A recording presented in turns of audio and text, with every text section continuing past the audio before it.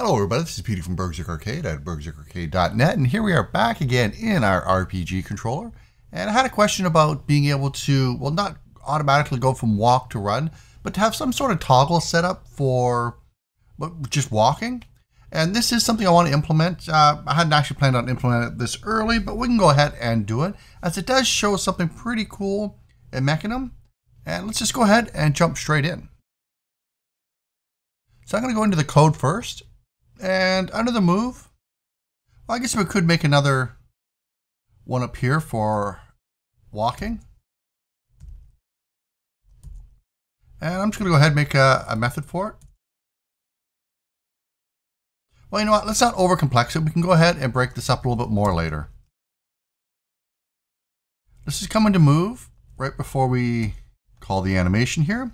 And we're just going to do an if block. And what we want to do is just see if we're holding down a certain key. For me, I'm going to set the toggle up to be my left shift key because that's usually what most RPG style games, at least the ones that I play, are.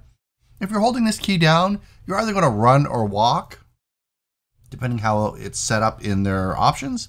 And when you let go of it, you switch to the other one. Now, by default, I want my character to run.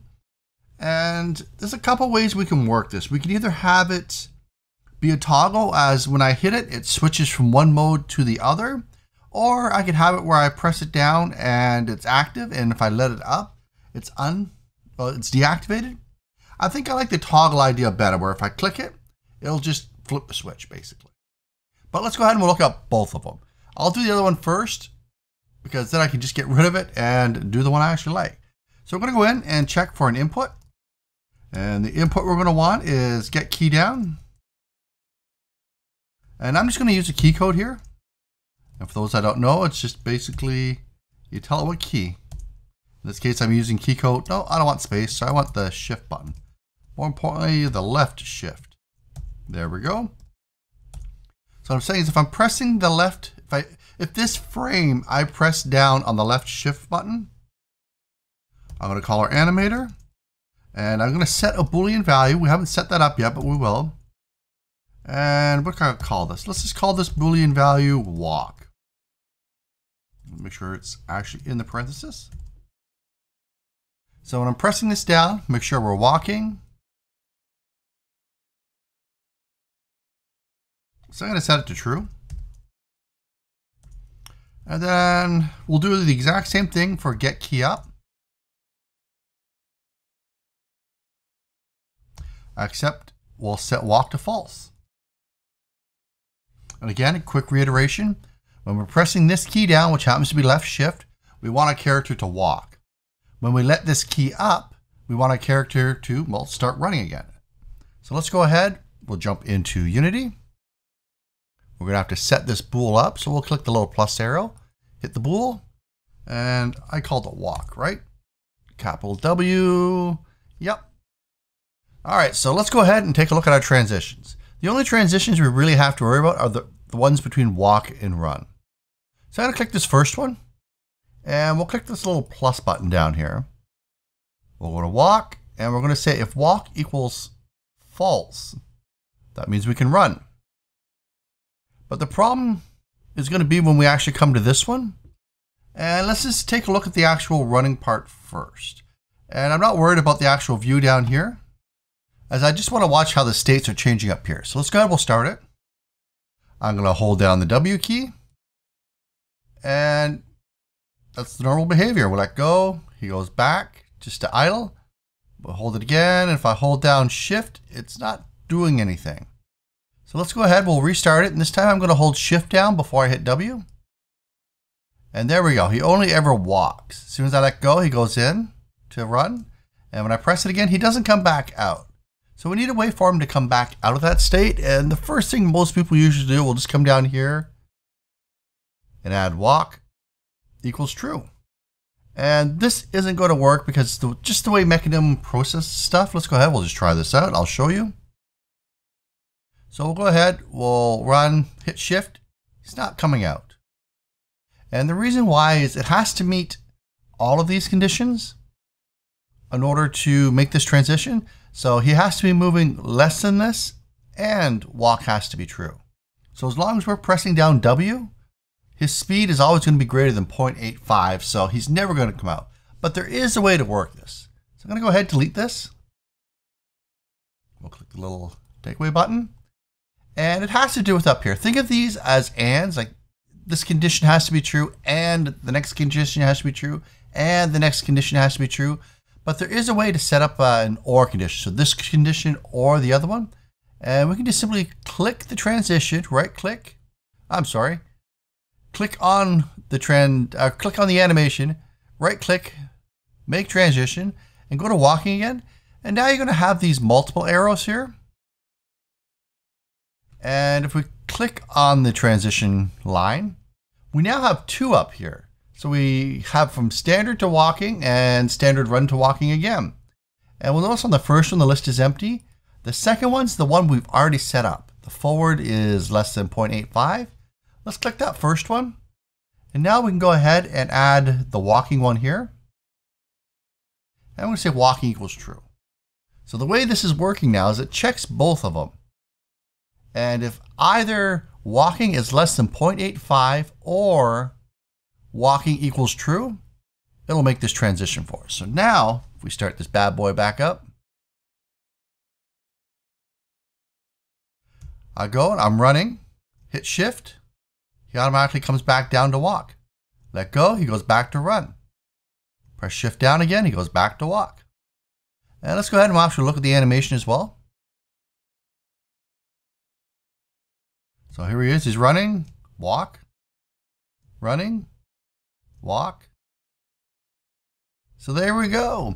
Now I'm going to switch this over to a toggle because I don't want to have to check for get key up, get key down. If you want it that way, by all means, go ahead, leave it that way. But I am going to switch mine over. But before I do, uh, I get this question a lot too, is how do I get my camera up here to follow? And that's pretty simple. Everyone should learn this. So F will focus in on something. So remember F for focus. And if you want it to follow, so the camera follows him, press FF. And I like to think of it as focus follow. You can zoom out a bit. So FF, focus follow. I'm not sure if that's actually the official nomenclature for it, but that's how I remember it. FF, focus follow, F, focus. All right, so let's go ahead and we'll switch it to the way that I want it to work. And in order to do that, I am going to need to put a Boolean value up here. And I'm going to call it is walk king. And by default, I want it to be false. And we'll come down here. Get rid of that. And this is where I'm actually going to check for walking. I'll make a function for it, not is walking, just walking. I'll put it above here.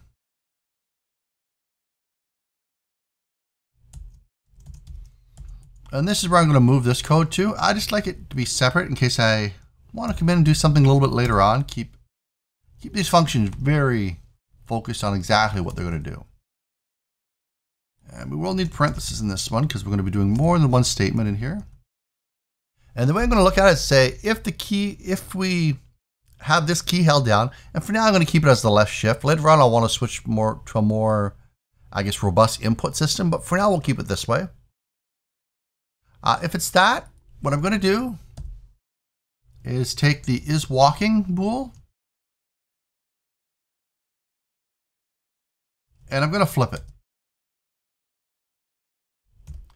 And what this basically says is uh, whatever is walking is, flip it to the other state. So since there can only be two states, it just switches them. So if, it, if it's true by default, or in this case we have it set to false, uh, the first time we press it, it's going to switch it to true. So the next time around, it's going to be true. And if I press it again, it's going to switch to the false. It's just a nice, easy way just to basically think of it. I like to think of it as flipping a light switch. Then we're going to pass in is walking here. Now we don't really need to keep this variable here. What we could do is actually just grab the variable from the Mecanim portion and flip it that way. It's more code, longer code. To me, this is easier to read, easier to follow through, and well, it provides exact same functionality. So let's go ahead, we'll save that, and it should just work exactly the same out of the box. So we'll jump into Unity. and fix all of our errors. And after that big talk I just did, I put the exclamation mark in the wrong spot. We want it here. We want it to equal whatever the opposite value is. so that's the proper way to do it. All right, we'll jump back in. That error should disappear. There we go. So let's go ahead. We'll start this bad boy up. We're running. Hit. We just have to tap it. We don't have to hold it down or anything. He walks. And if we tap it again, he starts running again. So this is the behavior I want. And it's going to be the exact same thing I used later on for switching between first player and third person. But uh, that's where we get into the camera scripts. But anyway, hopefully this helps you out a little bit, gives you a little bit more knowledge to work with. Keep in mind those different states for the state machine. Let's go ahead, we'll just quickly look at it. Ones down here are AND conditions, the ones up here are OR conditions. Anyway, Thanks for watching, everyone. If you really do like this series, make sure to give that a big thumbs up. Maybe share it on some of your social media out there, as it really does help me out. It's the best way to actually help me out. And I'll see everyone else in the next video. Bye-bye.